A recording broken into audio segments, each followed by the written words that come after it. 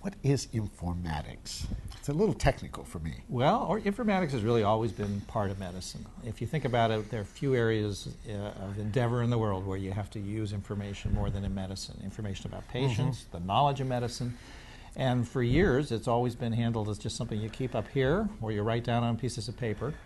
Uh, and increasingly, with the new technologies, we're able to begin to manage it, that information more using the electronic media, computers, communication networks, and the like. So, uh, uh, AMIA is uh, a, a, society of professionals who have worked to try to bring new technologies to bear. So, this is a growing trend, in other words. It's very much a part of uh, the new field of medicine. It's pretty hard to go to a hospital today and not see a lot of computers around. The problem is that they don't always work optimally, and we have a field of people trying to make sure that they meet the needs of doctors and patients and nurses and other health professionals. But isn't this more about sharing the information? I mean, not just, I mean, I know when I go to my own doctor, he sits there and he even has a laptop when, when he's talking. When I'm telling him what my problems are, I think he's not paying attention, but he's sort of typing it in.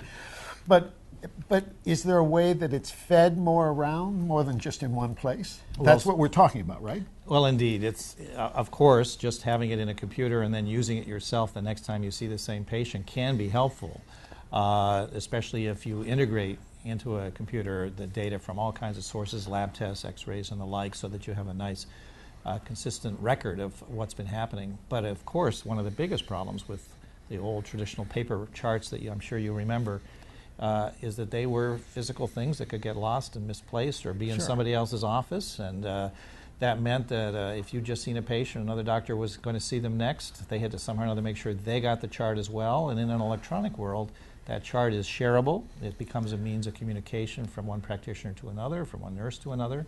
And, and that's uh, very much uh, part of the logic for putting more and more of these data into computers. So it is more widespread now.